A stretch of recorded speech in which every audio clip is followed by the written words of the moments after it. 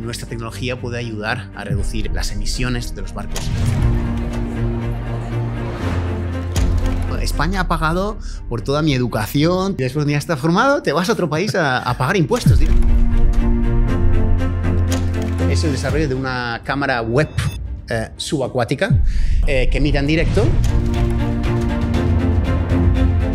Creo que son 10.000 kilómetros de, eh, de tuberías que conducen gas en el eh, Mar del Norte. Esto es una infraestructura crítica. Todos los sub- submarinos tripulados tienen que seguir una certificación eh, y ellos eh, decidieron que no, Que no hacía falta. no. Esto es una información que no- muchas veces no está en el dominio público. Hola a todos y bienvenidos a un nuevo episodio de Toque de Ingenio. Soy Edgar Guerrero y como ya sabéis estamos aquí para charlar sobre innovación, ingeniería industria y por supuesto sobre emprendimiento. Hoy tengo el placer de recibir a un invitado muy especial para mí, un viejo amigo con el que compartí muchísimas horas de estudio mientras nos formábamos como ingenieros en la Universidad Politécnica de Cataluña. Nuestro invitado de hoy es Alex Alcocer. Bueno, en concreto es el doctor Alex Alcocer, porque al acabar la carrera, Alex decidió continuar su formación en el Instituto Superior Técnico de Lisboa, en el que obtuvo su doctorado en Ingeniería Industrial. Y hoy en día es profesor de robótica y control en la Universidad Metropolitana de Oslo, en Noruega. Además es cofundador de Sirena, una empresa que ha desarrollado una innovadora tecnología de drones submarinos para recopilar y procesar datos en tiempo real. En este episodio vamos a charlar sobre diversos temas que seguro interesarán a muchos de vosotros. Desde cómo es el desarrollo de una carrera dentro de la investigación y el ámbito académico de la universidad, hasta cómo funciona un robot submarino, que es justo el campo de especialización de Alex. También hablaremos de las diferencias entre los estudios superiores en España y en Noruega y por supuesto le pediremos a Alex que nos hable sobre el proyecto de Sirena, cómo ha sido desarrollar una empresa a raíz de una investigación tecnológica, los retos a los que se ha enfrentado y el estado actual de ese emprendimiento. Así que Alex, buen amigo, bienvenido a Toque Ingenio. Muchas gracias, encantado. ¿Qué tal, cómo andas? Muy bien. ¿Qué haces por Barcelona? Porque, macho, te, cogerte a ti aquí es complicadísimo. ¿no? Bueno, sí, eh, pues he venido. es una- hay una semana de vacaciones ahora en Noruega. eh, la escuela está cerrada para mi hijo mayor, entonces hemos aprovechado. Mira, venimos a Barcelona a visitar a la familia. ¿En octubre tenéis vacaciones en Sí, Noruega? sí, hay lo que le llaman la semana de, de otoño y una semana que la escuela está cerrada. ¿Y, en- ¿Y el verano cómo es? Y en verano hay menos vacaciones. Allí son ah, solo es el mes de julio que está que no hay escuela. Eh, o sea, los niños empiezan el primero de agosto. El 1 de agosto empiezan Sí. el cole. ¿Y tú la universidad? Eh, sí, la universidad empieza un poco el 15 o así de agosto. Y en, o sea, es un mes solo. O sea, en junio no hay vacaciones. En junio no hay vacaciones. Es julio. Sí. Y, por ejemplo, en Navidad, Navidad, eh, sí, como en España, más Como o aquí. menos. Sí. 15 Sí, días, los- ¿no? No, no, eh, no, no, mucho menos. eh, creo que es una, Una semana, semana. o así, sí. Ah, no bueno, tienen reyes, sí, exactamente. claro. En Noruega no tienen esto, sí. Ahí son protestantes, ¿no? Eh, ya son, sí, son protestantes, pero menos religión. Sí, poco- la religión no está muy en la sociedad, ¿no? Oye, muy bien, pues me alegro muchísimo de haber conseguido que vinieras, que era complicado y hacía tiempo que, que te perseguía, pero no, no, no, no, no vienes mucho, no vienes mucho a España No, y, y te agradezco que hayas encontrado el huequito para venir y charlar con nosotros. Un placer. Así que, Alex, si te parece, pues eh, como sabes, nuestro canal está dirigido a bueno, pues, seguidores de la ingeniería, la industria, el emprendimiento eh, y temas relacionados con, con la innovación en general. Y me gustaría empezar hablando contigo sobre nuestra, nuestro pasado estudiantil, ¿no? Y, y en el- todo el tiempo en el que estuvimos estudiando, en nuestro caso, la carrera de ingeniería industrial. Y lo primero sería preguntarte por qué decidiste tú ser ingeniero industrial y no de caminos de telecos o, o médico, Mm. no sé. ¿Por, por Sí. qué decidiste eso? Sí, eh, para mí fue una decisión también, no lo tenía muy claro. Yo, a diferencia, bueno, no tenía nadie en la familia que hubiera sido ingeniero. Eh, de hecho, eh, muy- nadie en mi familia había tenido un grado universitario. Ah, vale. Y entonces fue- la decisión fue un poco complicada. Estaba entre biología, ¿Biología? física y eh, telecos y industriales. Y a mí siempre me había gustado, la, todas estas son cosas que me gustaban, ¿no? La naturaleza, entender la física, la matemática, los mecanismos, los robots, ¿no? Las cosas así. Y una cosa que me gustó de ingeniería industrial es precisamente lo amplio que es, ¿no? Es un estudio que no hay en muchos países, de hecho. Eh, por ¿Ah, ejemplo, sí? en Noruega tienes que escoger desde el principio si quieres ser ingeniero mecánico o ingeniero eléctrico. O en ah, la ingeniería industrial en España tiene creo que es una cosa interesante el, el que es tan ah, multidisciplinar, ¿no? En- aprendimos de hidráulica, aprendimos Nuclear, de... eh, nuc- transporte o sea, claro, eléctrico. y esto es una cosa que a mí me gustaba, el no, el no cerrarme tan temprano ¿no? en la universidad, tener un poquito más de años para decidir para, Claro. dónde, para dónde tirar. ¿no? Y, y creo que fue una decisión aceptada. Bueno, sufrimos bastante en la carrera, ¿no? Mm, Yo más que tú. bueno, bueno. Yo más que tú, desgraciado, porque, macho, o sea, cuando antes en la presentación os decía que pasábamos muchas horas estudiando, la realidad es que yo estudiaba un montón, él repasaba así un poquito los apuntes y, y con eso y con eso sacaba un 9 y yo un 4,75. Pero bueno, ahí, ahí lo... De hecho, de hecho esto no- creo que no te lo he dicho nunca, ¿eh? Pero yo hay muchas veces que hablo sin que tú estés presente con otras personas y digo, yo la persona más inteligente que he conocido en mi vida es Alex, el que vive joder, en, sí, Noruega. Bueno, bueno, qué halago. vale. Sí, sí, tal cual, macho. O sea, me acuerdo perfectamente cuando, cuando teníamos clases de álgebra, de cálculo, de todo, que estábamos ahí todos mirando la, la como el, el- el- el profe explicaba las lo que fuera, ¿no? Los teoremas, y nadie entendía nada, y tú levantabas la mano y decías, "Mm, creo que esto, esto está mal, ¿eh? Creo que no, no va por ahí porque habría que pensar en... Y yo te miraba como, ¿pero qué dice? Pero si no entiendo nada, ¿cómo coño este tío está corrigiendo al profe? Sí, tal cual, tal cual. Así es, así es. Entonces fue, fue un poco una de las, de las decisiones que tenías, ¿no? Y lo, lo que no sabría, lo que no sabía era que no existiera ingeniería industrial fuera de España. una Eh, carrera bueno, tan generalista, ¿no? sí, no en muchos países. eh, sí, por eso, por ejemplo, en Noruega no existe. Tiene una cosa que llaman ah, organización industrial, ¿no? Pero, Pero hay, claro, bueno, nosotros también. Sí, aquí, claro. el- el- un poco más foque de economía y administración, mucho más fuerte lo que es en el que el ingeniero industrial español, ¿no? Claro. Yo, diría. sí. Claro. Y vale, entonces la otra historia está. Acabamos la carrera, todos, todos decidimos ponernos a, a- a currar eh, y tú decides seguir estudiando. La ¿Por verdad es que no, yo, yo también eh, busqué trabajo. eh, ¿Ah, sí? Sí. eh, y la forma que hice para buscar trabajo es, eh, bueno, yo me, me especialicé en los últimos años en automática, Ujú. una de las ah, especializa- especialidades de, de ingeniería industrial.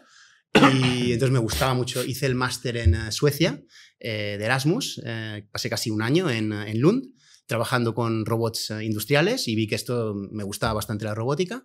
Pero a nivel de tiempo libre, eh, una de mis pasiones era el submarinismo, la pesca submarina, eh, estar en el mar. El waterpolo Y, eh, submarino. sí, el, hockey subacuático, Eso. rugby subacuático. y cuando acabé la carrera, eh, fui a Google y puse robótica submarina. ¡Pum! Y de verdad que de los primeros links que apareció fue una oferta de trabajo en ah, Portugal, en Lisboa, para un proyecto de investigación europeo de robots autónomos submarinos. Y sí, sí, ya apliqué y fui a entrevista y me cogieron. O sea, no, no fue para, para estudiar. Al Ah, no te fuiste ahí a hacer el doctorado, sino fuiste a... Sí, me fui primero como un ingeniero de investigación para un proyecto y al cabo de un año y medio mm, me surgió la, la oportunidad de continuar como estudiante de doctorado y, y sí, la verdad, y me, me gustaba eh, lo que estaba haciendo, el, el grupo de trabajo allí y, y me decidí quedar. Pero cuando fuiste a trabajar, ¿ibas a trabajar directamente a la universidad Sí. o era una empresa? no, una era, era la universidad, sí. Era un proyecto europeo eh, que colaboraban muchas universidades. eh, en- ahí en ese momento era, para, era un proyecto para desarrollar eh, lo que se llamaban robots autónomos submarinos de intervención. Es decir, un robot submarino que tiene también un brazo robótico y que puede, por ejemplo, coger objetos o abrir válvulas, hacer, hacer interacción con el, con el ambiente. Y, sí, y era, Y, vale, ¿cómo, ¿cómo vas a hacer el doctorado? Pues es duro, la verdad. Eh, la verdad es que creo que muy poca gente que le preguntes después de haber hecho un doctorado te dirá Te que lo fue fácil. ¿Ah, sí? Sí, incluso que te lo recomendará. bueno, recomendará no, porque eh, eh, al fin y al cabo la, la gente tiene una buena. La mayoría de gente tiene una buena. Creo, creo que no se arrepiente de haber hecho un doctorado, pero nadie te dirá que es una cosa fácil. Es un, es un, son unos años bastante duros. Eh, donde tienes, pasas, eh, tienes que trabajar solo muchas veces en problemas eh, un poco complejos, ¿no? Que a veces no sabes el norte dónde está y el escribir la tesis, escribir los artículos, son, o sea, es, es, bastante durillo ¿no? el trabajo, pero, pero bueno, puede ser muy también... Porque organizativamente, o sea, mm. o sea, dijéramos la parte de una licenciatura, bueno, ya no se llaman licenciaturas, ya se llaman grados, ¿no? Pero dijéramos la universidad reglada, los estudios reglados de segundo grado, ¿no? Están como muy establecidos, sabes que tienes pues, los cuatro años de grado más los dos años de máster, antiguamente estaban las diplomaturas y licenciaturas, pero un doctorado, ¿cómo, es? ¿Tienes unas clases prácticas y luego tienes una investigación? ¿Cómo, cómo sí. es? Esto varía de país en país, pero normalmente tienes unas pocas asignaturas que tienes que hacer, a lo mejor eh, cinco asignaturas, eh, que son asignaturas bastante avanzadas, ¿no? Eh, y que a lo mejor son asignaturas donde a lo mejor los grupos son más pequeños, hay cinco alumnos en una clase, ¿no? Y, son específicas de doctorado. sí, son clases de doctorado. no, son clases, no son clases de la propia ingeniería, sino. No, no, están en el grado de máster, sino son clases de cursos de doctorado. Y a partir de esos cursos obligatorios, normalmente unos cinco, el resto es investigación. Y el tiempo, normalmente entre unos total de unos tres años, en Noruega, por ejemplo, es normal, pero en Portugal, eh, hacer cuatro o cinco años era totalmente eh, lo normal, ¿no? O sea, depende del país, ¿no? ¿Y cuánto en España, yo, tardé prácticamente cinco años, sí en acabar el doctorado. Y vale, pero ¿cómo, cómo se acaba? Es decir, tú, tú estudias durante, o investigas durante cinco años, pero ¿qué define que sean cinco, cuatro o tres? Sí. Eh, bueno, normalmente em, hay unos requerimientos de, por ejemplo, el número de artículos que has publicado en eh, revistas científicas. Vale. Dependiendo de la universidad, por ejemplo, en Noruega es típico que te pidan un mínimo de tres artículos en una revista científica. Hay conferencias que son artículos un poco más cortos y más fáciles de, realizar, y artículos de revista que son más extensos y que requieren un trabajo mucho mayor. Y esto es más o menos el requerimiento, el hacer, el hacer un, número determinado de publicaciones científicas. ¿Y en Portugal cuántos eran? En Portugal también, eh, también unos tres artículos. Pero mucha gente acaba haciendo muchísimos más. Yo hice a lo mejor 10 artículos, pero no de, no de revistas, sino de conferencias. Eh, artículos de conferencias. Entonces haces los... O sea, tú cumples con tener los artículos esos publicados. ¿Sí? Y dices, vale, ya, ya, estoy preparado, lo decides tú, tienes no, esto hay, cada universidad tiene su, cada universidad tendrá, tiene su comité, eh, por ejemplo, que eh, el profesor decide, al final, eh, el doctorado al final es un poco de tiempos antiguos, ¿no? es como una especie de, lo que importa es la defensa del doctorado, ¿no? Ah. Tú te preparas para la defensa. ah, vale, vale, vale. Entonces, la, la, pregunta es, ¿estás listo para la defensa o no? Okay. en la defensa tienes que tener el, lo que es la tesis doctoral terminada en algunos países es simplemente un compendio de los artículos que has hecho, más una pequeña introducción. En Noruega es así. En otros países, en Noruega, por ejemplo, y en Portugal, eh, es, tienes que hacer una tesis separada de los artículos. es bastante extenso. Y en la defensa, pues tienes un panel de, profesores, eh, normalmente contiene gente externa, eh, expertos en el área, y ahí te, te masacran a preguntas. ¿Ah, sí? sí, sí, claro.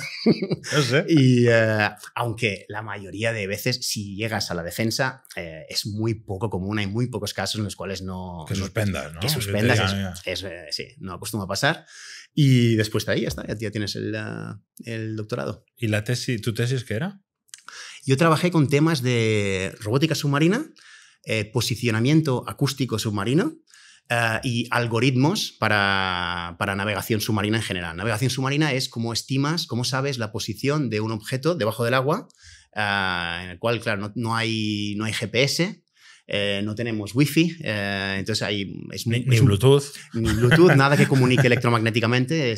entonces tienes que buscar soluciones alternativas. Una de ellas es sistemas acústicos, eh, que es como un GPS, eh, pero que en vez de utilizar ondas electromagnéticas, utiliza ondas acústicas.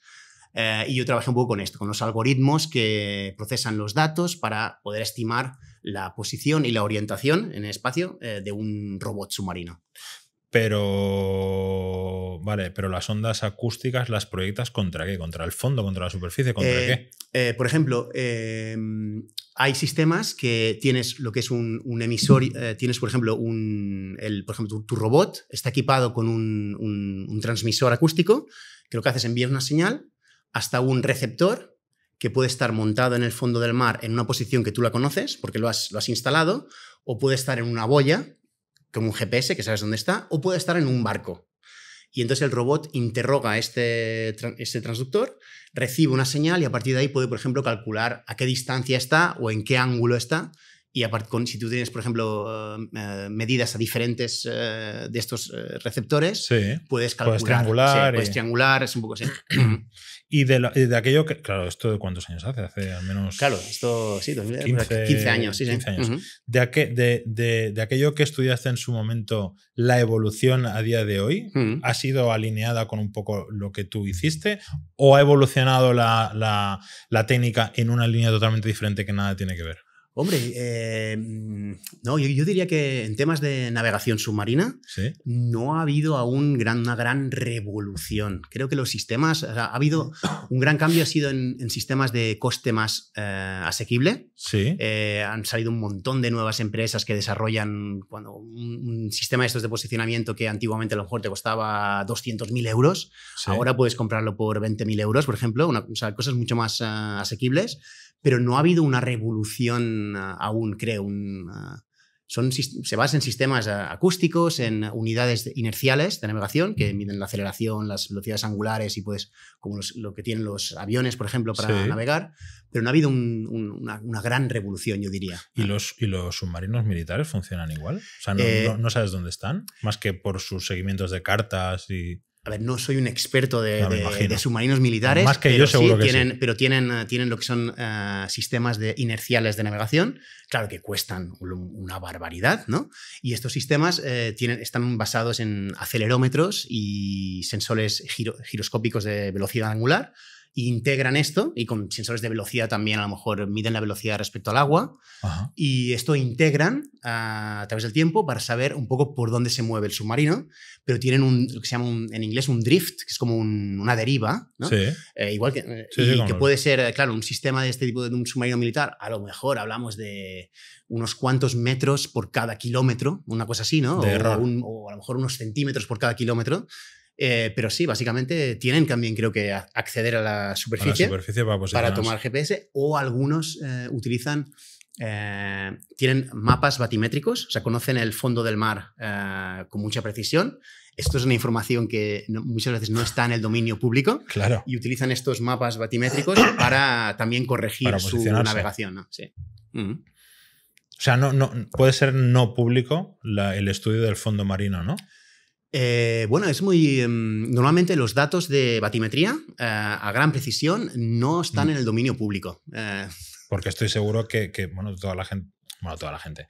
las empresas que se dedican a, instalación de, molinos de, viento en el mar, pues les podría ser muy interesante saber cómo es el fondo, ¿no? Sí. Si tienen que hacer un estudio. Exacto. Normalmente tienen que hacer sus propios sus propias campañas para recoger sus propios datos de, de esa zona, sí.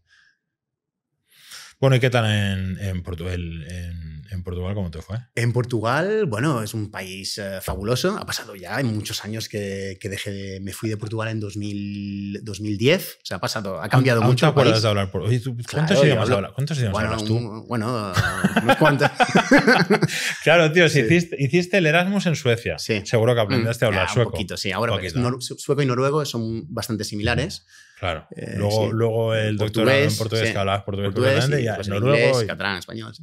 Muy bien, muy bien. Nada, nada Portugal es un país eh, fantástico. Eh, hay mucha innovación en Portugal. Eso te iba a preguntar por, la, por la universidad en sí, porque entiendo que el, Instituto Técnico de Lisboa debe ser con lo, que para nosotros es la UPC, ¿no? Aquí. Sí, yo diría que sí. tiene muy buena. O la de Madrid, la UPC. Tiene muy buena reputación y con razón. Es una muy buena universidad, el Instituto Superior Técnico. Eh, allí el, la maestría, era muy bestia. El, tenían un, grado de cinco años y la maestría es dos años después. O sea, para tener una maestría eran siete años de estudio. O sea, para ser ingeniero son siete años. Si querías maestría. Tú puedes ser ingeniero con cinco, pero no, no le llamaban entonces. Le llamaban ingeniero, pero no, no, no máster. Era un ingeniero poco segundón, ¿no? No, eh, Portugal, bueno, un país eh, fantástico. la cultura, la comida, el clima, el mar. Eh, y últimamente un, muy, creo, muy activo a nivel de startups, de innovación. Uh, son, Lo he escuchado, muy interesante. que mm. todo el tema de Lisboa se está potenciando mm. muchísimo. De, hecho, ya había escuchado quejas de que los precios de las viviendas están subiendo también ahí, mm. precisamente por la importación de talento que Mm. se está afincando ahí, pues como en Málaga aquí, ¿no? Que nos está pasando en Madrid. En Málaga también Mm. se está creando como un, un pulmón de, de innovación, de startups, de, y bueno, y el, el coste de la vivienda, de traer gente de Claro, fuera, pues, pues claro. sube, Mm. está claro. Vale, entonces acabas el doctorado. y Te vuelves a España, ¿no? Entonces fue cuando, cuando trabajaste en el, en el proyecto del submarino. Sí. Después de acabar el eh, doctorado, eh, estuve, volví a España y estuve trabajando unos dos años en una empresa que hizo un submarino tripulado. A mí me flipaba aquel Sí. proyecto, ¿eh? era guapísimo. un submarino, submarino tripulado para tres personas eh, y 1.200 metros de profundidad. Era una startup también, eh, así, éramos muy pocos y nada, muy interesante. Fue ahí eh, desde diseñando los sistemas, eh, sistemas hidráulicos, de flotabilidad variable del submarino, las baterías. eh, fue muy interesante. Yo me acuerdo Y- cuando me hablabas del submarino de los 1200 Hmm. metros, y decía, ¿pero qué, qué dices? ¿Qué dices? Vamos a Sí. hacer eso. Sí, sí, sí. Me parecía Y- súper bestia. Y muy también muy eh, las, las certificaciones, los niveles de, Claro. claro, obviamente, pues de seguridad, eh, que ahora después de los años, des- después de haber visto el accidente este que hubo en el Claro. Titanic, eh, ponía las manos en la cabeza de cómo qué poca seguridad habían tenido en este, en este proyecto. ¿Tú te enteraste un poco de cómo fueron los detalles de aquello? Eh, no me enteré, he seguido un poquito, ¿no? Eh, pero una cosa que es muy, es, es incre- o sea, no hace falta investigar más, eh, simplemente el hecho de que no estaban certificados. O sea, ellos, di- normalmente todos los submarinos tripulados tienen que seguir una certificación, normalmente era ABS o eh, Germany Shares Joint o GL, que ahora es DNB, eh, y ellos eh, decidieron no... Que no hacía falta. Que no hacía falta, ¿no? que sí, total, para esto ya. Exactamente. Joder, Sí. macho. Mm. Hostia. Y vale, el, el- el- el proyecto del submarino aprenderías un montón. Claro, ahí eh, es una de las cosas buenas de trabajar en una startup, ah, yo creo, es el hecho de... Es que has de hacerlo todo. Exactamente, tienes que hacerlo todo, ¿no? Y en- no es para todos, ¿no? Hay gente que a lo mejor su- por su personalidad ah, prefiere tener un trabajo más eh, limitado, pero en algunas eh, partes de tu carrera es eh, muy enriquecedor, ¿no? Poder, tienes, te ayuda a tener un poco una idea más, más general de, una, de funcionamiento de una empresa ah, y de muchos aspectos técnicos, ¿no? Tienes que cubrirlo, Claro. tienes que cubrirlo todo, ¿no? Sí, muy interesante. Claro. Vale, entonces, ¿cómo acabas en Noruega? Pues me surgió una oferta por LinkedIn. Eh, era un momento, era en 2012, eh, un momento en que Noruega estaba contratando, estaban desesperados buscando ingenieros y me contactaron por eh, LinkedIn eh, para una empresa que yo ya conocía, eh, que se llama Kongsberg Maritime. Es una empresa de referencia para toda la gente que trabaja con robótica submarina. Kongsberg. Kongsberg eh, Maritime, que tiene varios, varias subempresas. Y bueno, y no me lo pensé. Eh, yo ya había estado en Noruega seis meses estudiando eh, anteriormente y era un país que me gustaba bastante y no me lo pensé y me, me lancé a la aventura. Y vale, ¿y ¿qué tal la, la- o sea, la realidad de. Bueno, y si habías estudiado seis meses ya sabías cómo era, ¿no? Ujú. El- el- es- eso de que haya mu- pocas horas de sol. Sí, Bueno, las características propias que tiene ese país, que Sí. además es la antítesis del nuestro, ¿no? en muchos aspectos sí. Respect- Sí. Tanto buenos como malos, ¿no? Sí, sí. Probablemente. Eh, vale, entonces ahí el- el desarrollo que hiciste por el que ibas a trabajar inicialmente estaba guay. Pero antes de sumergirnos en esta conversación, quiero agradecer a nuestro patrocinador ProtonGo que una semana más hace posible este episodio. ProtonGo ofrece servicios de fabricación de piezas y prototipos mediante mecanizado CNC, impresión 3D y preseries de piezas plásticas obtenidas mediante moldes prototipo. Y todo a través de una plataforma online increíblemente cómoda y ágil. Os dejamos el cupón toque de ingenio en la descripción por si alguno de vosotros necesita algún tipo de fabricación de piezas para vuestros proyectos.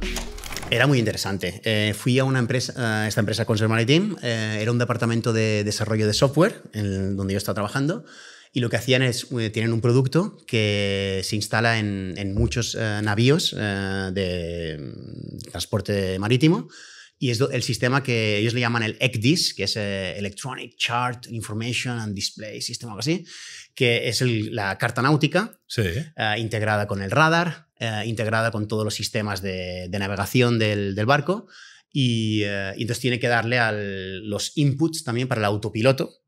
Eh, que claro, ahí es, eh, ahí es donde estaba para mí la cosa, parte importante, ¿no? Te estás jugando, la, o sea, es, eh, es crítico el darle al autopiloto la posición correcta del, del, del, navío, porque si falla esto, mal.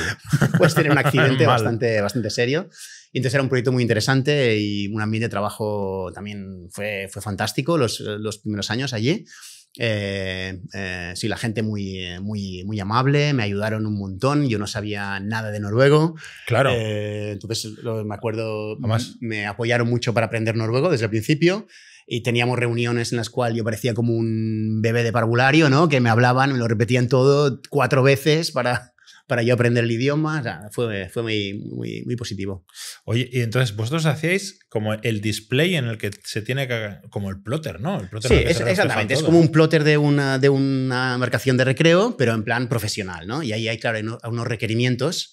Eh, marcados por la IMO ah, y entonces tienes que seguir una serie de normas. Ah, pero sí, acaba, acaba, siendo un plotter más profesional, ¿no? De hecho, los, los, sí, los últimos que, que yo he visto de, de Raymarín y estos, ya te lo integra todo. Te integra el radar, te integra y tienes un donde tienes todo muy chulo. Que por cierto, no sé si lo has visto, pero hace unas semanas entrevistamos a una empresa que se llama Sea Rebel en Mallorca, que han desarrollado un piloto automático que va directamente integrado en un volante para, para montarlo en, en lanchas motoras. Entonces tú tienes tu lancha cuando los barcos son muy grandes ya tienen el piloto mm, normalmente puesto, pero si es una lancha que no es muy grande, pues desmontas el propio volante de la, de la lancha, pones este, que además se desmonta, se monta y desmonta bastante sencillo, pones ese y puedes controlar el móvil con el, piloto con el móvil. Con una app te la descargas.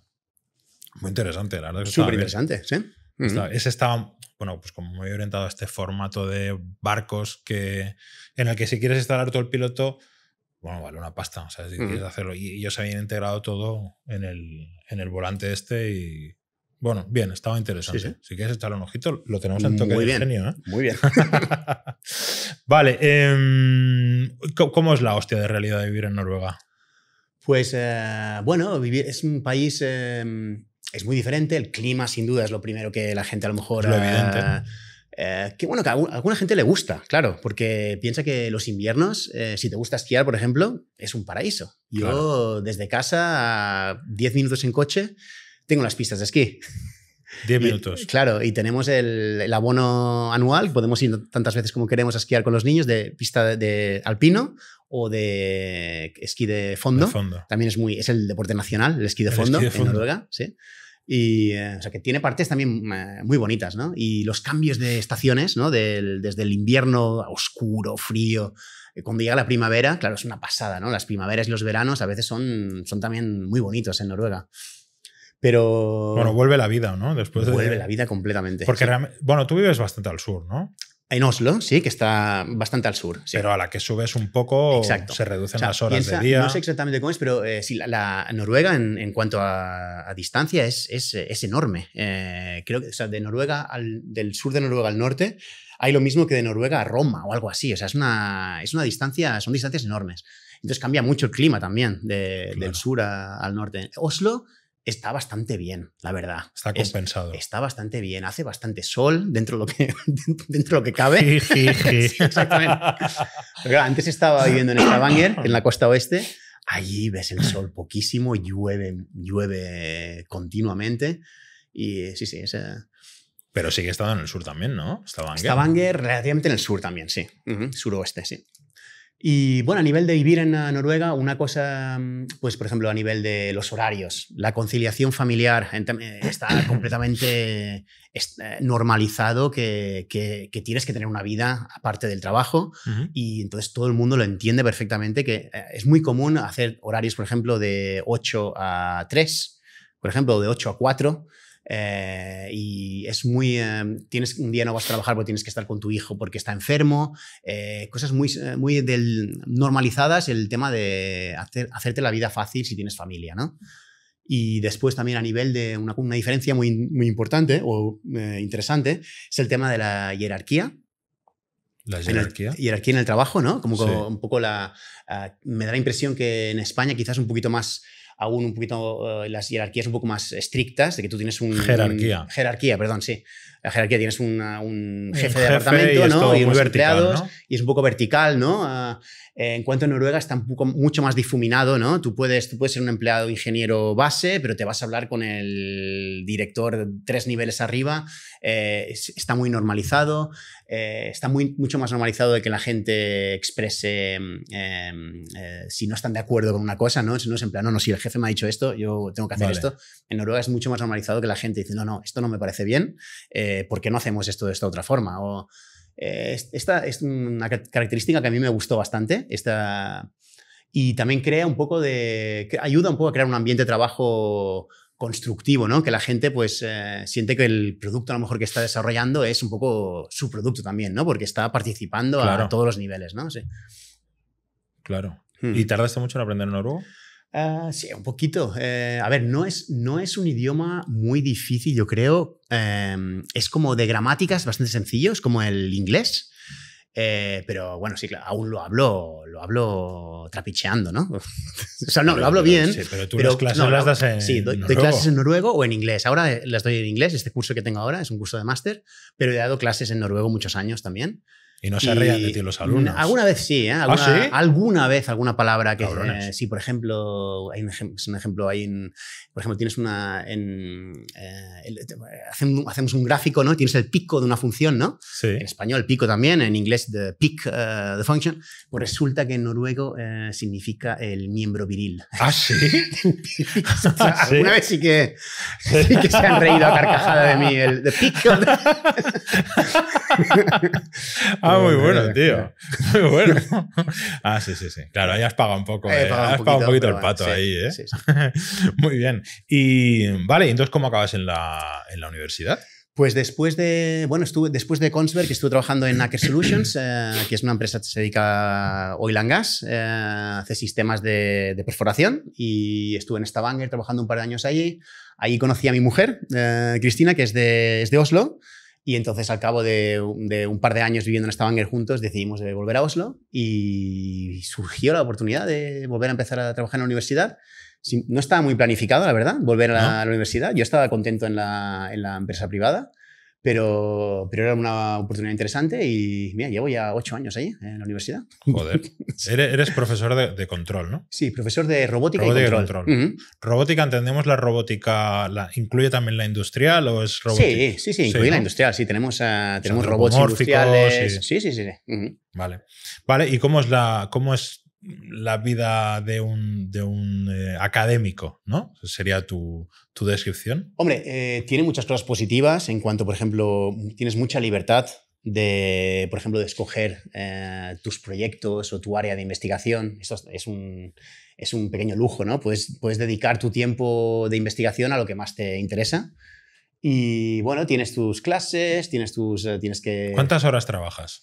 Eh, trabajo de. La. ¿Cuántas horas doy clase? Eh, Bueno, ¿cuántas o sea, la- horas la, la tienes se- que...? la hora la semana laboral en Noruega son 37,5 horas. Vale. Eso es la Como aquí de aquí a poco. Sí, sí, Sí, aquí lo exacto. van a bajar. Ujú, sí.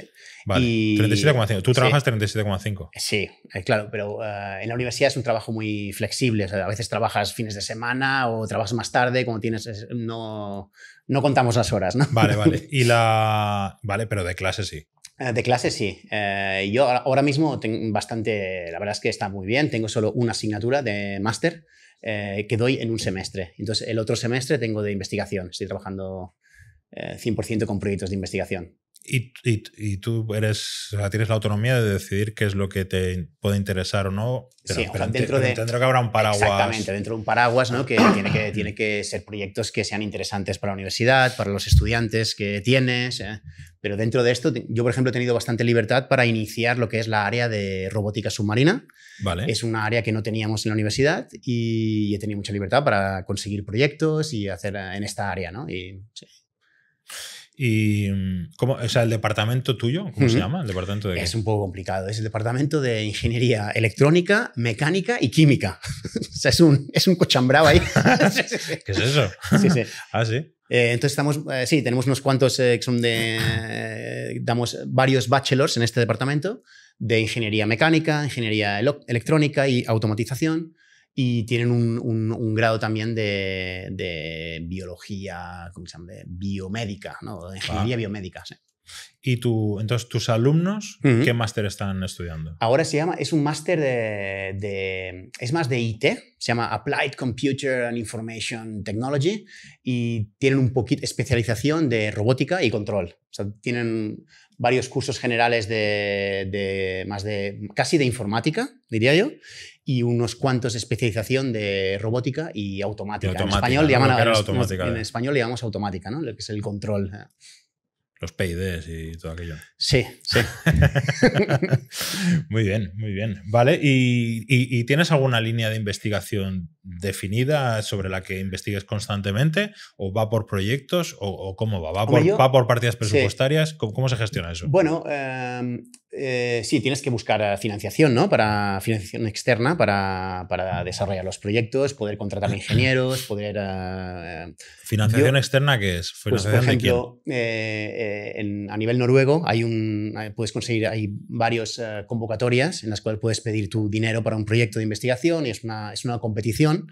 Todos los investigadores compiten para tener este dinero y si tienes suerte, pues te dan dinero para trabajar durante tres años en un tema que te interese, ¿no? Y es el gobierno noruego, ¿no? El gobierno noruego es- existe lo mismo eh, equivalente en la Unión Europea, ¿no? Son proyectos europeos que son normalmente mucho más grandes, eh, un consorcio de universidades, uni- empresas y institutos de investigación pueden hacer un proyecto conjunto y si lo aprueban, pues tienen, pueden trabajar durante tres, cinco años en un, en un tema que, que sea de interés, ¿no? Yo he trabajado eh, mucho desde el inicio con temas de eh, observación marina, o sea, cómo obtenemos eh, información del mar de un modo un poquito más sencillo a lo que es a lo que existe actualmente. Eh, después, Vale. esta- después de haber estado trabajando bastantes años con, con este tema, una cosa en común de los sistemas que trabajan en el mar es el, el precio desorbitado de los sistemas. Son bastante, no, no son muy accesibles, lo que hace que realmente conocemos muy poco de- del mar, ¿no? Conocemos muy poco de, de- de lo que está pasando eh, en nuestras costas o debajo de... Entonces, por ejemplo, he estado eh, haciendo proyectos de desarrollo de robots submarinos un poquito más... eh, eh, de coste mu- mucho más reducido que los, los existentes, planeadores submarinos, cámaras subacuáticas, diferentes tipos de, de este tipo de, de instrumentos. Ahora, por ejemplo, tenemos un proyecto europeo que estamos desarrollando una cosa que no es, no es eh, ciencia de, de como rocket science, como Sí, no, es, no es esto, No es ciencia pero, ficción. pero es algo que realmente tiene un interés y es el desarrollo de una cámara web eh, subacuática que, que eh, transmita en directo. eh, que emita en directo y está conectado a unos servidores con que varios institutos de investigación tienen acceso a estos datos. Bueno, también están públicamente. Y entonces, aplicando algoritmos de inteligencia artificial, pues, por ejemplo, eh, detectar automáticamente qué tipo de especies de pescado hay en una, hay en una zona, ¿no? Pero son cámaras visibles. Son, sí, cámaras visibles. sí. Cámaras visibles no verás nada, ¿no? Eh, bueno, sí, de- de- si es en, sí, con luces, con iluminación, o si es en una zona de costera de poca profundidad. Sí, esto es un, son- es un proyecto bas- eh, enfocado más a zonas costeras. Tenemos cámaras a lo mejor a 20 metros, eh, 40 metros de profundidad. Muy bien, muy interesante. Y mm, podemos hablar de robótica submarina en, en general. O sea, que, ¿cómo va el tema de la robótica submarina? Ha- Han evolucionado. Yo, yo siempre he visto, bueno, ya hace muchos años, ¿no? Los típicos robotitos amarillos que sueltan desde los barcos con una manguera que lleva todos los datos. Sí. ¿Esto ha evolucionado o hacia qué camino va o cómo Hombre, está? Ha evolucionado muchísimo, ¿no? Eh, en robótica submarina normalmente hay, hay unas cuantas categorías de tipos de vehículos, se Sí. llama. Lo que, el que has mencionado tú se llama normalmente ROV, que es eh, Remotely Operated Vehicle, que es un robot que va conectado con un cable, ¿no? Sí. Y este cable eh, tradicionalmente podría ser con eh, comunicación, eh, energía eléctrica sí. o incluso hidráulica a través del, a través del umbilical. Ah, y estos robots han sido utilizados durante muchísimos años, por ejemplo, en la industria del oil and gas, del petróleo, para hacer eh, inspección, intervención eh, subacuática. Ha habido mucho mucha evolución en estos robots, se han vuelto más inteligentes. Eh, ahora hay una tendencia que se han vuelto eléctricos. Eh, an- antiguamente era más, eh, la hidráulica era el método preferido. Últimamente están eh, saliendo más vehículos ¿Y eléctricos. tenían motores de propulsión hidráulicos? Sí, Muy sí. bien. Y ah, o sea, ha habido muchos cambios a nivel de las cámaras, de la inteligencia, cómo se pueden pilotar, eh, los tipos de sensores que se integran, eh, este tipo de, innovaciones. Otro tipo, eh, otro tipo de vehículo muy utilizado es el, se llama vehículo eh, autónomo, Autonomous Underwater Vehicle, so, vehículo autónomo submarino. Este no tiene umbilical y normalmente son lo que más de forma de torpedo eh, y lo que hacen es nadar eh, su- eh, sumergidos, normalmente para obtener, por ejemplo, un mapa topográfico del fondo del mar, utilizando un sonar, Un sonar directamente. por ejemplo, ajá. sí, un tipo, hay muchos tipos de sonar. Eh, y estos vehículos sí que han, han han evolucionado bastante. Por ejemplo, una evolución en los últimos años es, por ejemplo, esto que he hablado antes de la reducción de coste y han salido bastantes empresas haciendo eh, robots eh, muy asequibles, eh, mucho más pequeños, pero que a lo mejor para misiones a lo mejor de un día o de unas horas. Eh, eh, y, esto sí que ha sido un, cambio en los últimos años. De este, y sin duda la parte de la inteligencia, ¿no? Ah, robótica submarina, eh, la gente piensa robots, eh, vale, hacen el trabajo solos, ¿no? O eh, pues eh, no. Oh, ton, ton, No. Aún estamos en un nivel que, aunque le llamamos robot o aunque le llamamos robot autónomo, requiere muchísimo trabajo manual a nivel de operacional. Tú tienes que, por ejemplo, poner el robot en el agua, sacarlo del agua, a lo mejor pilotarlo, ver que no se te escape de donde quieres que esté, eh, cargarle las baterías. O sea, hay un montón de, de cosas que hacen que los robots aún no sean realmente autónomos, ¿no? Tienen, requieren mucha... Y en ese sentido sí que ha habido mucha evolución, ¿no? Han, están empezando saliendo cosas, por ejemplo, de robots que, como el Rumba, como la aspiradora Rumba, Sí. por robots eh, submarinos que hacen docking en plataformas sumergidas para cargar baterías, transferencia ¿Ah, sí? de datos. Sí, esto es como son cosas que están, que están, ah, Se están haciendo. están saliendo, sí, a nivel comercial incluso. ¿eh? Porque mm, más allá de la investigación del, del fondo marino y de, la, o de, la, de las ciencias ambientales que representa el mar, o se me ocurre pues el- lo que hablábamos, ¿no? Lo de los molinos de viento, cómo hacer los asentamientos o plataformas petrolíferas. ¿Qué más eh, objetivos tiene el desarrollar un robot submarino? ¿Qué aplicaciones? Sí, o sea, además de lo que has mencionado, eh, o sea, eh, muy importante el tema de mm, eh, investigación, o sea, el tema de conocer un poco más del océano, que es un gran desconocido, eh, parece mentira, pero eh, conocemos, sabemos mucho menos de lo que pasa debajo de la superficie de- del mar que de, de Marte o Sí. de la Luna. Eh, eh, sí, energía en general, que eso incluye eólica, oil and gas, o sea, temas Eso, industriales. eso es lo más importante. Yo diría que sí. Y, un y un sector también em, en el cual hay muchas empresas que, que se dedican es el, el sector de defensa. Defensa y protección de, de infraestructuras ah, críticas ah, submarinas. sí. Sí, hablando de eso, el, el- el, eh, oye, ayer no habéis hablado del Nord Stream. ¿Qué ha Claro, claro. ¿Qué ha pasado? Es un tema muy...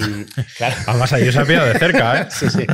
Se ha pillado de cerca y en Noruega es un, es un tema muy importante, muy crítico, ¿no? Eh, Claro. existen, eh, no, no me acuerdo la cifra exacta, pero creo que son 10.000 kilómetros de, eh, de tuberías De eh, que conducen a gas en el eh, Mar del Norte. Esto es una infraestructura crítica, ¿no? Eh, y que actualmente eh, no hay mucha. No, no sabemos nada. O sea, se hacen unos surveys a lo mejor cada año o cada. Pero eh, no hay ningún sistema que monitorice continuamente eh, esta infraestructura. ¿Te refieres es- al, al estado de la propia infraestructura? bueno, ¿no? saber si hay un sabotaje, saber si hay un, ah, un submarino que se acerca y hace un... ah, o, o un O sea, lo único que se sabe es que entra gas por un sitio Sí, y sale por otro, Exacto, ¿no? Y ahí puedes medir un- algunas cosas, ¿no? Con las diferencias de presiones y de flujo y tal, pero lo que no puedes saber es lo que está pasando en la tubería ahí. Tienes que enviar un robot o un barco para, ah, para monitorizarlo y eso es un gran problema. Oye, internamente habéis debatido sobre la, qué ha podido pasar con el Nord Stream. Vosotros en la universidad, ¿qué os pilla de cerca? Eh, no, no ha sido, o sea, ha sido No, un tema de café, de discusión de, De café, café. pero sí, no, no sí. Bueno, lo que es curioso, por ejemplo, es que una empresa noruega que conocemos bien, eh, que está en Trondheim, que hacen, tiene un robot eh, submarino teleoperado muy pequeño, Blue Eye se llaman, creo que fueron los primeros que obtuvieron imágenes del, del Nord Stream y, fue- y están, los vídeos están en todos los, eh, los periódicos y tal. Porque a tú sabes a cuántos metros estaba Sí, aquello. creo que estaba, creo que eran, eh, creo que era muy poca profundidad, creo que eran 70 metros o una cosa así. Mm. sí, sí, estaría, estaría bien ahí a ver qué pasa. Vale, entonces entiendo que vinculado a toda tu experiencia, a toda la investigación que llevas acumulado, fue cuando de alguna manera decides lanzarte al camino del emprendimiento y crear tu propio robot submarino, ¿no? Por, por decirlo de alguna manera. Hmm. ¿Cómo, cómo es esta historia? ¿Cómo decides, venga, va, me la voy a jugar? Me voy a meter aquí en la, en la liga de... Bueno, pues yo siempre he tenido un poco el... De los el- sufridores. el, ah, sí, la, la liga de los sufridores. Siempre he tenido un poco el, el interés la, de emprendedor, ¿no? De, he tenido algunas eh, previas startups, eh, una en Noruega y una aquí en, eh, en- en Barcelona. Y eh, después de un proyecto de investigación eh, que tuvimos, ahí que yo era coordinador en Noruega, eh, ahí hicimos un robot eh, submarino que se llama Planeador, es un glider, Ujú. es un robot que utiliza cambios de flotabilidad para eh, propulsarse. Eh, pero a diferencia de un planeador eh, en el aire, que siempre baja, ¿no? a no ser que, que encuentres una, una- un aire Una- ascendiente, ¿no? Sí.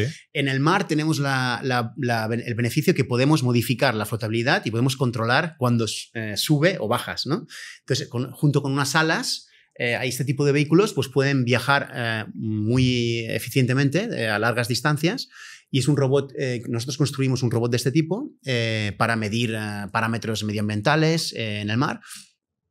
Entonces, cuando acabamos este proyecto, siempre pensando un poco en, en el, en el impacto que podíamos hacer si podíamos comercializar esta tecnología, siempre venía la idea de, vale, eso está muy bien, pero siempre necesitas personas que estén allí tirando este robot al agua, eh, yéndolo a buscar. Esto no es, no es, no es escalable, ¿no? En- no- Sí, sí, no- escalable. No, no, no veíamos que esto podría ser escalable. Hay algunas hay empresas que se dedican a esto, pero no veíamos esto realmente, veíamos muy niche, ¿no? Esto tienes que tener unos investigadores a tiempo completo, clase, para operar este vehículo, ¿no? Eh, entonces pensamos un poco cómo podemos modificar esta tecnología para hacerlo realmente escalable. Y entonces fue ahí cuando sur- eh, surgió un poco la idea de Sirena. Y esto es un robot que tiene muchas de las eh, mismas eh, propiedades beneficiosas de un glider, Sí. es que gasta muy poca energía, eh, puede estar en el mar durante mucho tiempo, puede comunicarse cuando está en la superficie por vía satélite o a través del teléfono móvil, eh, pero en vez de estar eh, nadando libremente, lo anclamos. Entonces, Vale. lo que hicimos es, tenemos, patentamos un sistema de anclaje que hace que permite que este vehículo eh, esté siempre en, una mismo, en un mismo sitio.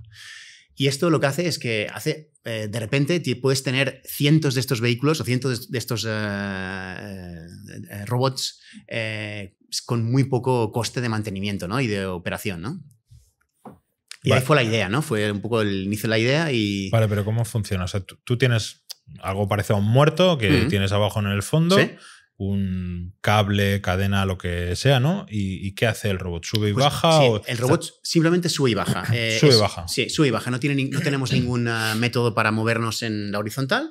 Simplemente eh, obtenemos eh, información en la vertical. ¿no? O sea, y entonces en la vertical puede subir a la superficie una vez al día o una vez cada hora, depende cómo lo programes tú. O simplemente cuando detecta una determinada ah, una alarma, una, por ejemplo, una señal acústica, eh, lo podemos equipar con hidrófonos que pueden Sí. detectar, por ejemplo, pues, eh, ballenas o ruido de una eh, ruido humano. o- y entonces puedes subir, sube a la superficie y ahí comunica ah, con, a, través de, a través de satélite o teléfono móvil con un servidor donde tienes acceso a los datos. ¿Y cómo se alimenta el robot este? Baterías. Baterías internas y también tenemos, estamos trabajando con eh, sistemas de placas solares eh, tolerantes a la presión. Ah. No desplegables, pero que pueden, eh, funcionan cuando están en la superficie y cuando se sumergen no se dañan. Por lo menos sí. Sí, esto es bastante... de sí, Es bastante habitual. no, no es habitual, pero es más sencillo de lo que parece. Sí, la verdad que no, no Sí. parece sencillo, ¿eh? Hostia. ¿Y hasta qué profundidad baja? ¿O lo Eh, puedes llegar sí. a...? Eh, el, prototipo que teníamos al final del proyecto de investigación eh, era hasta mil metros de profundidad, eh, pero eh, hemos visto que no, no hay mucha necesidad para ir tan hondo en, el sector donde nos hemos focalizado, que es el sector de eólica marina. Entonces, el- el- los, las si- siguientes iteraciones podían bajar hasta 300 metros de profundidad. Porque cuando instalan un, un molino de viento, lo instalan en, en profundidades inferiores a 300.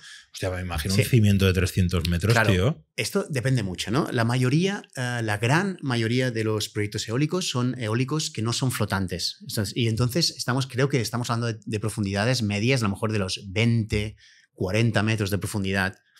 Y, pero un sector que se está desarrollando bastante es la eólica flotante. Y allí sí que podemos hablar de, de profundidades mucho mayores. En Noruega en particular, ¿Por qué? ¿Por qué? No eh, eh, O sea, flotante... ese flotante flota, no, no tiene profundidad. No, no, eh, sí, pero eh, flotante puedes, tú puedes instalar una, una turbina eh, flotante a lo mejor a 200 metros de profundidad, a 300. Las, Ah, que son, las otras están ancladas Ah, en el, están fundamentadas en el, en el sedimento. Entonces me estás diciendo que los flotantes te interesa saber qué tienes debajo. Eh, bueno, sí, sí te interesa, sí. Sí. Flotante es mucho más complejo. Eh, es, una, es una ingeniería mucho más ah, compleja y, y más costosa. Por eso es, un- es una tecnología que aún no, está, no ha llegado al nivel de, de desarrollo que, que la... que- Ah, ¿Tú sabes si hay alguno funcionando? sí, sí que hay, ¿Sí sí, sí. hay? Hay varios proyectos, sí, sí. O sea, que no me lo imagino, ¿eh? Porque cuando ves, yo a veces he estado en los molinos de viento y dices, hostia, esto ponerlo en una plataforma que flote Claro. y que aguante, Claro, claro, bueno, no huracanes, pero sí temporales, no sé, ¿eh? Sí, Sí, sí, sí, sí, no es un... poca broma. Vale, entonces desarrolláis el, el prototipo este, eh, lo testeáis, empezáis a hacer vuestras mediciones.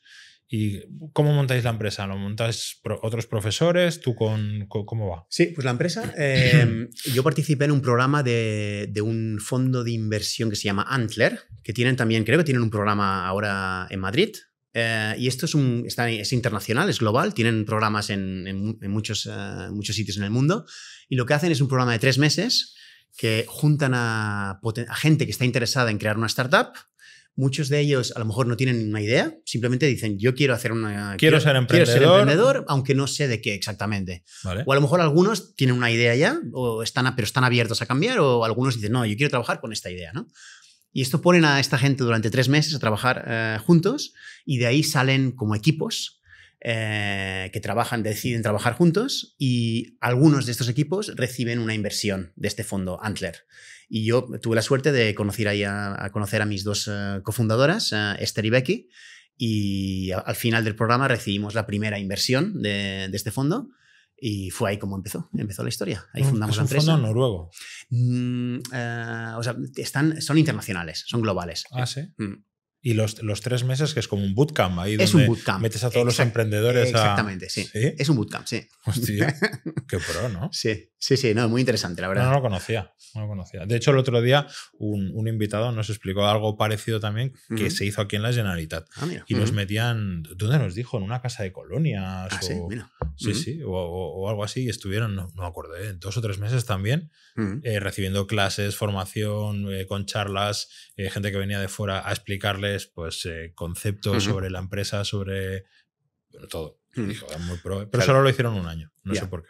Bueno, esto lo, lo bueno de este programa de Antler es que, claro, que si, si invierten en ti, pues tienes un. Tienes un bueno, te ayuda, primero la inversión económica que, que invierten en, en el startup, la primera fase, y después cómo te ayudan a, a crear los, los cimientos de la, de la empresa de modo que esté eh, está preparada para crecer, ¿no? Claro. Tú lo sabrás, eh, cuando creas una empresa hay un montón de detalles eh, que a lo mejor no parecen tan importantes al principio, como la, la cap table, cómo distribuyes la- las acciones de los, de los fundadores, las, la- los estatutos de la empresa. El pacto de Eh, socios. es, es un- es una cosa que a lo mejor no te parece importante, pero puede ser eh, crucial a la hora de frenar a futuros inversores Claro. y de preparar tu empresa para crecer. Y, Muy bien, muy, pues y esto bien. te ayudan, estos Antler te ayudan a, a que estés preparado. ¿no? Para que esté ordenado esto. Mm. Vale. Entonces recibes esa, esa inversión, con eso desarro- entiendo desarrolláis el, el prototipo, vais trabajando, hacéis las pruebas y, y ¿cómo, cómo va? ¿Habéis, habéis ¿Cuál es vuestro... ¿A quién os dirigís, por ejemplo? ¿Quién es vuestro cliente potencial? Pues el cliente potencial es eh, Offshore Wind. Eh, son proyectos de energía eólica en fase de desarrollo. Por ejemplo, antes de que empiecen a, instalar turbinas, tienen que hacer un impacto de medioambiental y allí podemos instalar nuestros, nuestras boyas para hacer seguimiento de cetáceos, para hacer un estudio de las condiciones eh, de temperatura, salinidad de la área. Y después tiene también otros muchos sectores, como por ejemplo investigación, eh, muchos investigadores que están interesados en utilizar este tipo de tecnología para, para reducir, por ejemplo, el uso de barcos. Eh, ahora muchos, muchos de los datos oceanográficos se recogen manualmente con navíos, grandes navíos de, investigación, y nuestra tecnología puede ayudar a reducir este, las emisiones de los, de los, de los barcos oceanográficos. Y además entiendo que el estudio de impacto medioambiental serán varios años. Exacto, sí. Normalmente creo que son normalmente unos dos años previos al, inicio del proyecto. Entonces tienes varios años yendo con barcos para hacer las mediciones locales, para luego no sé Exacto, sí. Y entiendo que vosotros competís con este tipo de producto o una solución similar, pues lo mismo, pero en formato de una boya, ¿no? Sí. O, algo así. Sí, o sea, un barco, boya o, vosotros, ¿no? Bueno, está interesante. O sea, claro, es que no, no, no. Lo que no te sé valorar es eh, cómo, de potente es el sector ese, ¿no? Del, de, la eólica marina. O sea, yo sé que se habla muchísimo, pero por ejemplo, aquí, en España he, oído hablar varias veces de algunos proyectos, pero que luego se han caído. De hecho, el Golfo de Rosas, por ejemplo, lo, querían, lo querían implantar y no sé si por, por una queja vecinal de la zona, no sé qué, al final se acabó cancelando.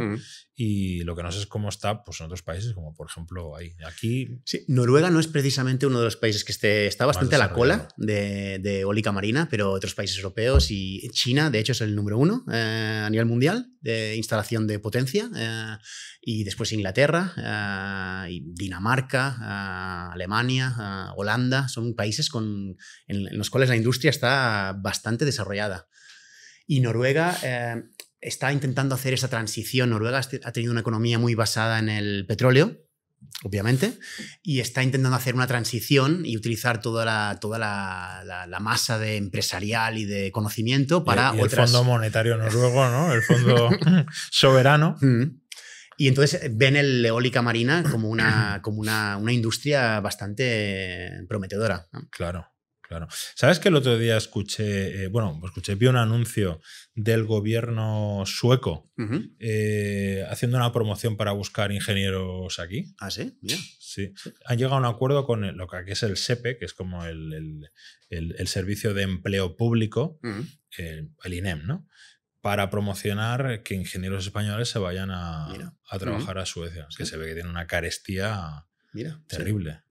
Imagino, bueno, no sé, no sé con Noruega cómo estará, pero imagino. Sí. Va, va, creo que va, va como a fases, ¿no? ¿Tú crees que es un sitio recomendable para irse a trabajar? Eh, valorando, ya llevas muchos años valorando todo, ¿no? Sí, a ver, es un sitio recomendable. Em, el Españoles en el Mundo, creo que hizo unos cuantos programas de estos, hizo mucho daño. ¿Ah, sí? sí, porque mucha gente se creía que Noruega era el paraíso y que podía ir a Noruega sin trabajo y a buscarse la vida. Y no es así. A Noruega eh, tienes que, o sea, es, el coste de vida es muy alto. Entonces, si tú no vas a Noruega con un trabajo ya, ah, con un contrato de trabajo... Te duran eh, poco los ahorros, ¿no? tienes, bastantes, tienes problemas bastante graves, ¿no? Entonces, eh, con, sí, es, adecuado, pero claro, tienes que, tienes que ir preparado con un contrato de trabajo ya, de antemano, o unos grandes ahorros, pero no se, no se recomienda en absoluto irse a buscarse la vida a Noruega. Pero bueno, ahora, ahora mismo hay un montón de trabajos por, eh, a través de online, que puedes, eh, incluso las entrevistas en, muchos puestos son, eh, pueden ser vía online. O sea que... Vale. Y bueno, que tienes que estar preparado, claro, al, a, ser inmigrante, que esto es, algo que no es para todo el mundo. Claro, ¿cómo lo llevas tú? Yo lo llevo bien, soy inmigrante ya en eh, Portugal y en, Hombre, tú eres un poco ciudadano del mundo. Y en ¿eh? Noruega, pero ser inmigrante no es, es, eh, es, duro, ¿no? Claro, todo el mundo. Pues, sí, eres, el de fuera. Eres el de fuera. A faltar, Echas a faltar la, la, comida, el clima, los amigos. Eres el de fuera, tienes que aprender un nuevo idioma. bueno, sí, tiene, tiene sus, sus ventajas y sus inconvenientes. Y, sí. Mm. Vale, ¿y nos planteamos volver a España en algún momento o qué? Pues la verdad es que siempre está allí, ¿no? El sueño, el, o la idea algún día. El tema está convencer a tu mujer. Y suerte tengo amigos como tú que me dicen, Alex, no. no te, Ni se te quédate". ocurra, ¿no? Ni se Sí, te sí. ocurra, ni se te ocurra volver. sí. Pero la idea, el sueño está, ¿no? ¿Tu, tu mujer vendría? Yo creo que sí, yo creo que sí. Eh, ella habla español y, y nos gusta mucho eh, España y, y- y- pero claro, es, eh, que- es como todo, con una familia con tres hijos, ahora que te- eh, tenemos tres hijos, es, hay una logística y Es un tema de... ¿no? Es complicado, ¿no? Bueno, desde aquí hacemos un llamamiento a todo el talento que en algún momento se ha ido de nuestras fronteras para que, para que vuelva, porque no hacemos más que generar talento interno que luego Ya, se nos expatría y, claro. y- y lo perdemos, Mm, ¿no? Entonces, claro. o sea, no, a ver, lo digo, lo digo medio de broma, pero, No, es, un- pero- pero es una realidad. ¿eh? Exactamente. Yo cuando pienso a veces, pienso, joder, para Noruega o otros países que reciben ah, ingenieros formados en otros países, digo, vaya chollo. Claro. O sea, les llega una persona, España ha pagado por toda mi educación, toda, todo, claro. y después de ya estar formado, te vas a otro país a, a pagar impuestos directamente, ¿no? Es, es- Claro. es un chollo. Claro, claro. ¿Tu universidad es pública, por ejemplo? Sí, es pública. ¿Es pública Sí. significa que pagas cero, pagas poco, pagas Noruega ah, pagas prácticamente cero. O sea, es eh, la, la- la- la matrícula, no sé si son 50 euros al semestre. O sea, es, Ah. es- es simbólico. Eh, está muy bien. Bueno, de hecho, es, es un factor que hace que muchos estudiantes internacionales elijan Noruega para hacer su maestría, por ejemplo, el máster, porque en otros países los precios son bastante elevados. Eh, Porque a los extranjeros tampoco los cobran. Claro, hasta hace un año no les cobraban. Ahora han cambiado la regulación y han intentado frenar un poco el tema este de... de- Claro. Sí. Bueno, pues lo dicho, hacemos un llamamiento desde aquí, desde Toque de Ingenio, a todos los, los expatriados talentosos como Alex, que si en algún momento se plantean volver a España, que los vamos a recibir con los brazos Mm, abiertos, con muchísimo cariño. No sé si con, con tantos eh, beneficios sociales como te puedes encontrar en, en Noruega, pero desde luego con muchas otras cosas. Vale, Alex, la última pregunta eh, que le hago a todos los invitados de este podcast y que algún día vamos a recopilar en un libro para hacer ilustración de cómo la hemos ido cagando a lo largo de toda, de toda nuestra carrera es precisamente eso. Explícame cuál ha sido tu mayor cagada profesional, A ver, eh, yo no sé si mi mayor, pero... pero una importante. eh, bueno, importante, de todo se aprende, ¿no? pero, por ejemplo, eh, puedo pensar en un proye- este proyecto de investigación que fue el origen de Sirena. sí, bueno, ahí empezamos desarrollando, la idea era desarrollar un robot submarino que pudiera ser operado desde drones, eh, desde drones aéreos. hostia, qué pro. Y esto, esto ponía unos requerimientos en el peso del, del robot submarino que eran brutales. O sea, queríamos, queríamos que, queríamos que al principio que el, el robot submarino no, no pesase más de dos kilos. Eh, esto fue creciendo, ¿no? Estos dos kilos fueron creciendo a cuatro, cinco, eh, hasta que nos dimos cuenta, no, el dron, esto no funciona. Esto, Esto no, esto, esto ya esto no, no. necesitamos un dron demasiado grande para esto, ¿no? Eh, o sea, y al fin y al cabo, esto acabó resultando que, claro, gastamos increíble, un- una, una cantidad de, de recursos y de tiempo increíble Y, y dinero. eh, y dinero, dinero de investigación en unos requerimientos, ¿no? Al principio, cuando intentamos reducir el peso y el volumen, todos los circuitos electrónicos tenían que ser de un tamaño miniaturizado, todo. Eh, claro, que esto a lo mejor, desde si nos lo podíamos haber evitado, ¿no? Claro. Y entonces esto supongo que es una cosa que pasa bastante comúnmente en el desarrollo de producto, es el Claro. ponerte unos requerimientos a lo mejor que no están suficientemente eh, fundamentados con lo que el cliente necesita o lo que, que a lo mejor eh, nadie pregunta realmente, bueno, pero este requerimiento realmente esto... De hecho, vas a flipar, vas a flipar porque esa es una de las grandes guerras que tienen todos nuestros equipos de desarrollo. Cuando llega el cliente con su idea, pues dentro de su, su idea hay lo que te puedas imaginar y claro. más. Entonces nosotros hacemos una fase de, le llamamos fase de especificaciones, donde definimos por escrito cada uno de los puntos que el cliente quiere y los clasificamos por orden de prioridad. Entonces, realmente priorizamos cuáles son los que hay que conseguir sí o sí y los que son como opcionales o deseables porque eso que tú me estás diciendo es el día a día de, cualquier proyecto de desarrollo. Donde dices, no, pero y, que, y que, que, gaste poco, y que dure mucho, y que la batería no pese, y que sea barato. Y que, escucha, Rey, no, todo, todo, no se puede. Todo no se puede, hay que cortar en algún sitio. Oye, pues muy bien, me parece muy interesante. pues claro, al final acabamos con un robot de 10 kilos. Bicharraco. Pero aún así era, era complicadísimo poner en esos 10 kilos todos los sistemas hidráulicos, de electrónicos, de, o sea, y que cuando cambiamos a Sirena dijimos, bueno, es que no hace falta. Y entonces, claro, esto de de repente tener mucho más espacio y, capacidad de poner más elementos más pesados eh, fue una... Sí, claro, claro. Una, alegría. Eh, oye, pues muchísimas gracias por haber pasado este ratito con nosotros. Un placer, Edgar. Me lo pasa muy bien, muy interesante todo el tema de, la robótica submarina, que yo conocía algo, pero, pero no tanto, y hasta muy bien que nos lo puedas, nos lo puedas ampliar. Así que para despedirme tengo para ti un regalo que son unos, unos auriculares inalámbricos de nuestro patrocinador del ah. podcast, Proton Go, que espero que puedas escuchar que puedas utilizar para escuchar tu, propio podcast. Muchísimas gracias, Alex. Eh, nos vemos y a vosotros hasta la semana que viene. Chao. Gracias.